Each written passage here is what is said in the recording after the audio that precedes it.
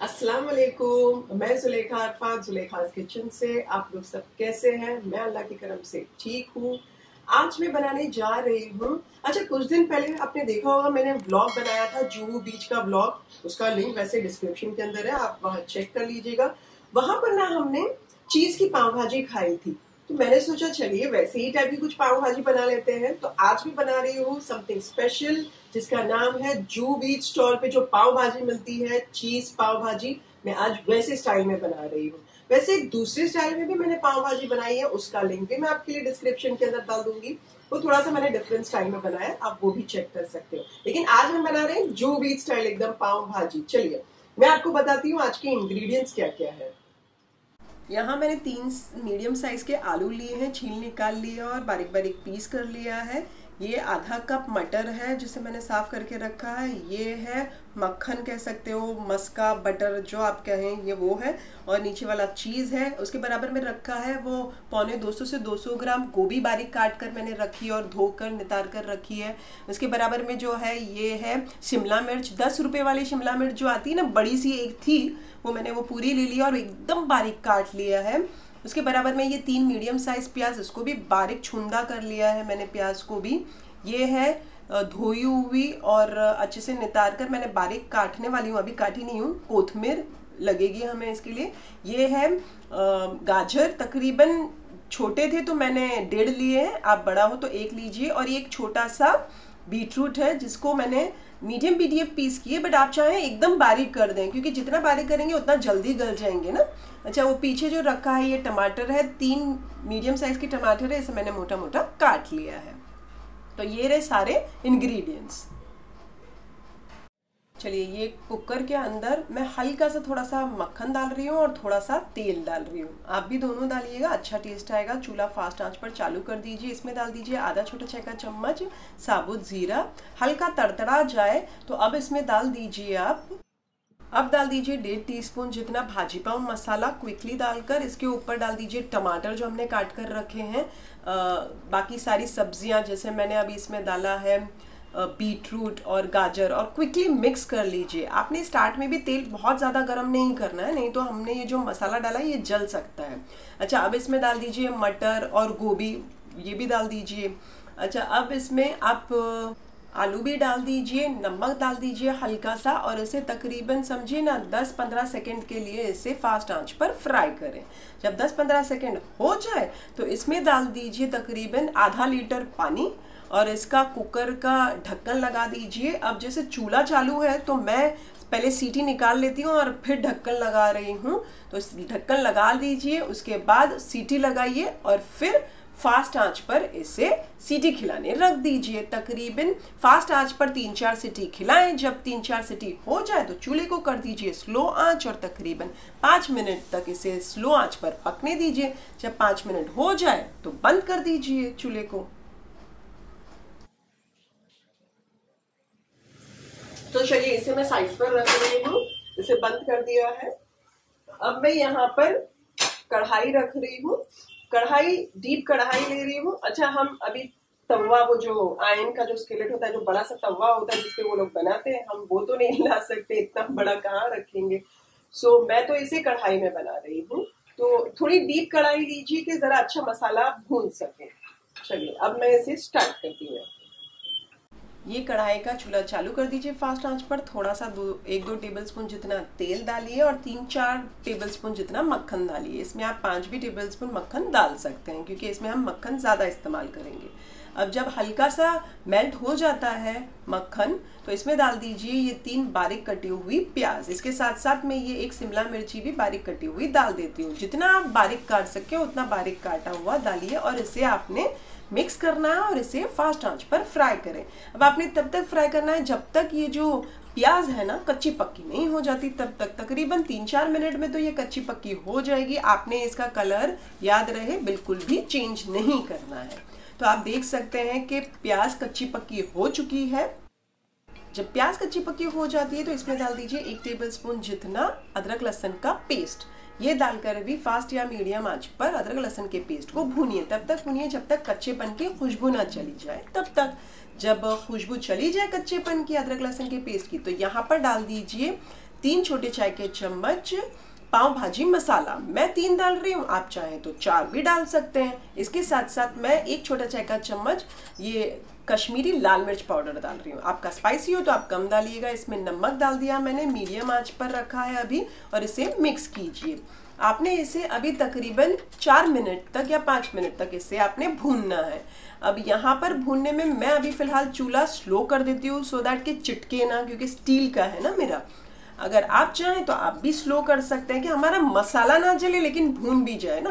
तो अब तकरीबन मैं तीन चार मिनट तक इसे भून रही हूँ।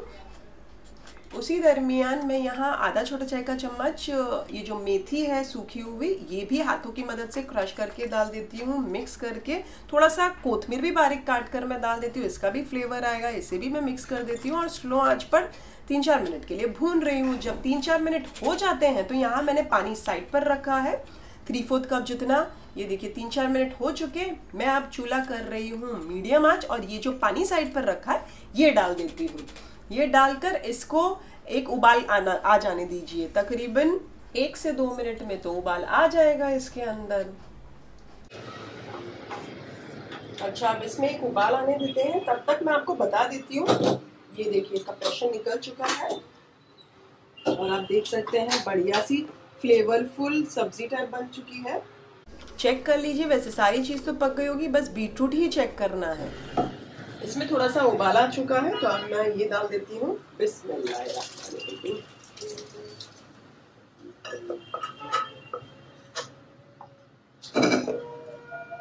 मीडियम पर ही है। अब आपके पास अगर मैशर हो, इसका तो आप भाजी पाऊ का तो आप मैश कर सकते हैं। आलू आलू का मैशर आता है ना, मेरे पास वो नहीं है तो मैं बीच बीच में इस तरीके से स्पेचुला से इसे प्रेस करती जाऊँगी। अच्छी खासी सब्ज़ियाँ गल चुकी हैं तो ज़्यादा प्रॉब्लम नहीं आएगी मैश करने में। पहले थोड़ा तो मीडियम आँच पर इसे पकने देती हूँ थोड़ी देर। थोड़ा सा थिक हो जाएगी ना तो और आसान भी हो जाएगी मैश करने वैसे तो इसका कलर आ जाएगा जैसे हमने बीटरूट डाला है हिंदी में उसे चुकंदर। कहते हैं। और बट हम जैसे बाहर की जूहू बीच पे की बना रहे हैं स्टॉल वाली पाव भाजी तो उसमें कलर तो डालते ही हैं। बस ऑन दैट नोट मैं थोड़ा सा कलर डाल रही हूँ फ़ूड कलर आपने नहीं डालना है तो कोई बात नहीं। अब मैं इसे मिक्स कर लेती हूँ और थोड़ी देर, जब थोड़ी थिक हो जाती है, इसे पकने देती हूँ तब तक। उसके बाद थोड़ा ज़्यादा मैश कर पाऊँगी मैं। थोड़ी सी कोथमीर डाल दीजिए। अब आप देख सकते हैं, सब्ज़ियाँ अभी भी अक्खी अक्खी साबुत दिख रही है है ना?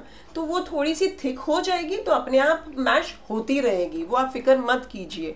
अब जैसे आप देख सकते हैं, थिक हो गई। तो यहाँ देख सकते हैं आप, क्योंकि हमने आलू डाला है तो अच्छा बाइंड हो रहा है ना तो अब आप बस आपने मेन काम करते रहना है मैश करते रहना है। जितना आप मैश करोगे, उतनी ज़्यादा अच्छी भाजी बनेगी। नमक डाल दीजिए स्वाद अनुसार, फिर से आप मिक्स कीजिए, और इसे आप पकने दीजिए मीडियम आँच पर। बार बार इसे इंटरवल्स पे चलाते रहे, और जितना आप मैश कर सकोगे, उतना मैश कीजिए।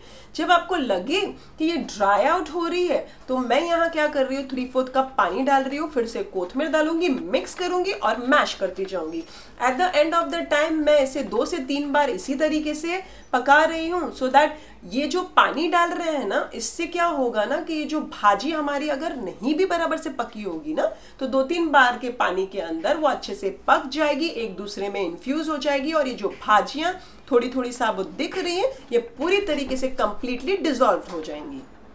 अब समझो आपने भाजी पका ली और आपको एक दो घंटे के बाद सर्व करना है तो ये भाजी क्या होती है? थिक हो जाती है।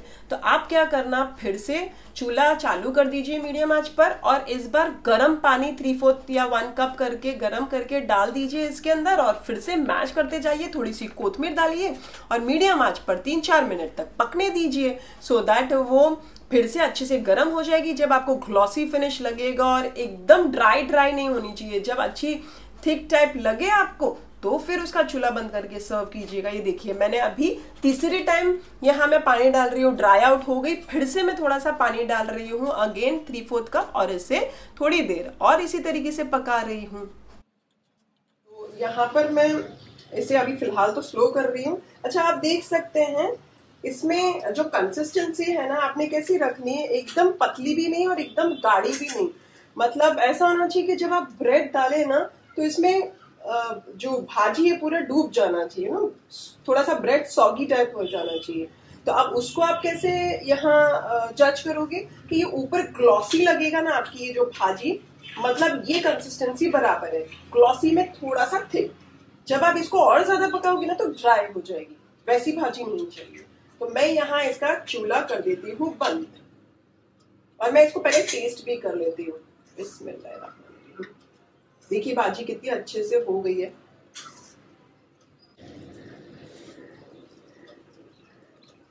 बहुत ही मज़ेदार। हम्म, बहुत ही टेस्टी है। बहुत मन हो रहा है फटाफट खाएँ हम लोग। लेकिन अभी इसके बाद मैं इसका चूल्हा तो बंद कर देती हूँ। अब ब्रेड को फ्राई करने की बारी है। अब ब्रेड को फ्राई करने के लिए वो लोग क्या करते हैं जो ऐसी बड़ी वाली जो तवा रहता है उसके ऊपर लोग भाजी बना लेते हैं।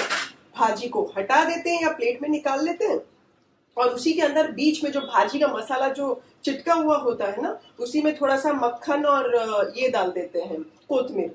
कोथमीर को क्या कहते हैं आप सॉरी धनिया।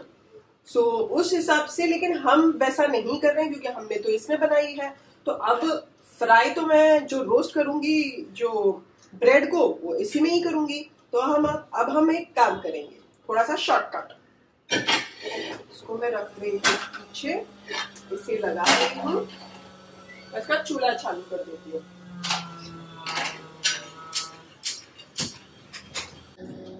चूल्हे को मैंने मीडियम पर रखा है। थोड़ा सा मक्खन डालिए थोड़ा सा मैं ये डाल रही हूँ कोथमीर, धनिया जिसे कहते हैं, और इसे थोड़ा सा इस तरीके से रोस्ट कर लीजिए। ये देखिए, थोड़ा सा इसे आप अच्छे से रोस्ट कर लीजिए आप चाहे तो और मक्खन डाल सकते हैं हाँ ऐसी कोई वो नहीं है। बच्चों के लिए है तो हम और मक्खन ऐसे आप चाहे तो कोथमीर भी डाल सकते हैं और सो ये आप देख सकते हैं बच्चों के लिए कितनी बढ़िया सी थोड़ा सा रोस्ट हो जाए तो इसे आप निकाल दीजिएगा। तो ये मैं अजहान के लिए निकाल रही हूँ। बच्चों के लिए आप इस तरीके से कर सकते हैं।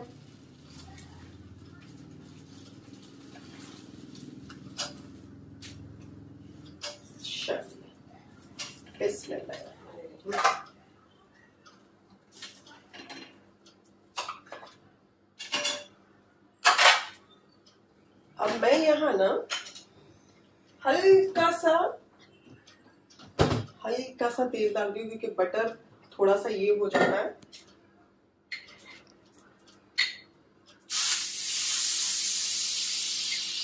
और इसमें से मैं थोड़ा सा हमारा एक डेढ़ टेबल स्पून जितना शॉर्टकट जो मैं बोल रही थी, वो ये ले रही हूँ। थोड़ी सी कोथमीर डाल दीजिए, धनिया पत्ता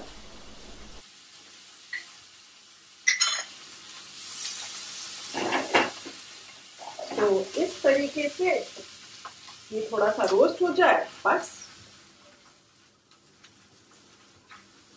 तो ये हो गया हमारा हमारा सॉरी मसाला पाउंड टाइप्स देख सकते हैं आप कितना बढ़िया सा हुआ है। है ना एकदम उन लोगों के जैसा?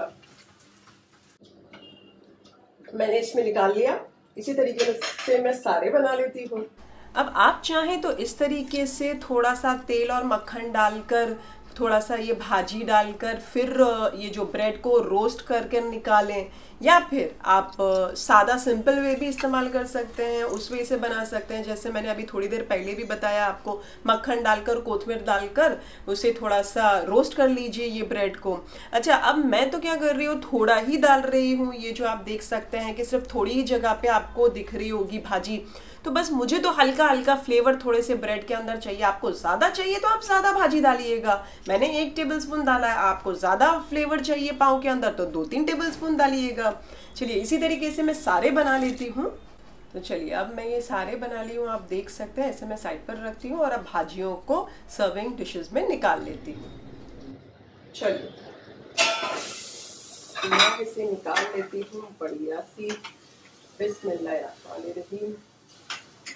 देख सकते हैं आप इसकी जो कंसिस्टेंसी मैं थोड़ी सी यहाँ इसके लिए निकाल रही हूँ। इसमें मैं थोड़ी सी चीज़ पाव भाजी बना रही हूँ इसकी। ये वाले में इसको निकाल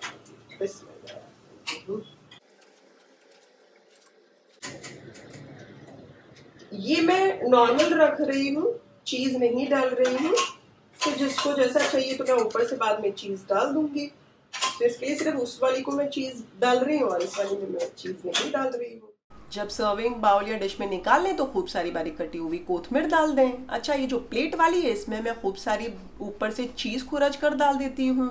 जैसे मैंने आपको जू बीच वाले में बताया था कि कुछ उन्होंने ज़्यादा नहीं किया, उन्होंने चीज़ को ऊपर से खुरज कर डाल दी लेकिन टेस्ट बड़ा मज़ेदार आ रहा था। तो मैंने भी उसी तरीके से चीज़ ऊपर से खुरज कर डाली और ये जो दूसरी वाली है, इसमें मैं मक्खन के दो तीन टेबल स्पून डाल देती हूँ। तो ये बन गई हमारी बढ़िया सी जुहू बीच स्टाइल की एकदम डिलिशियस पाव भाजी, एक चीज़ पाव भाजी और एक नॉर्मल पाव भाजी सादी वाली। तो है ना बढ़िया सी, मज़ेदार सी एकदम मसाले वाले पाव के साथ। अच्छा अगर आप मेरी ये वाली रेसिपी बनाएँ तो आपको पता है आपने क्या करना है? आपने कमेंट में कमेंट करना है कि आपने बनाई तो आपको कैसी लगी? और हाँ ज़्यादा से ज़्यादा मेरे ये जो वीडियो हैं, इन्हें शेयर कीजिए अपनी फैमिली और फ्रेंड्स में। और हाँ शर्माइए मत। ज़रूर लाइक कीजिए मेरे ये वाले वीडियो को। अगर आपको ये वीडियो अच्छा लगे तो। फिर से हाजिर होंगी एक नई शानदार, दमदार रेसिपी के साथ या फिर ब्लॉग के साथ। अंटिल देन टेक केयर अल्लाह हाफिज। Bye bye